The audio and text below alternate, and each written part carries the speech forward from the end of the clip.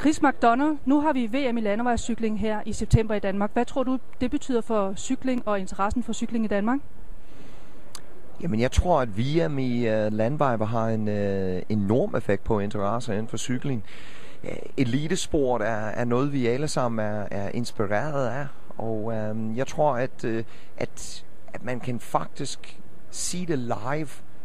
Det er noget helt andet end at sige ting på fjernsyn. Uh, Øh, det er forskel mellem et, et bestige et bjerg, uh, og være der og sige et eller andet på National Geographic. At komme ned og sige det live, det betyder så meget. Så jeg tror, der vil være mange, som, som måske overvejer at tage deres uh, racercykel, BMX-cykel eller en almindelig bycykel ude fra, fra garagen og lige få den tunet op og, og reintroducere sig selv til en af de bedste motionsformer, der findes, uh, og det er cykling.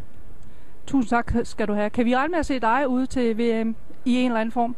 Ja, for jeg, jeg, jeg, jeg vil være der og være i gang et hold øje. Det kan, det kan man roligt regne med.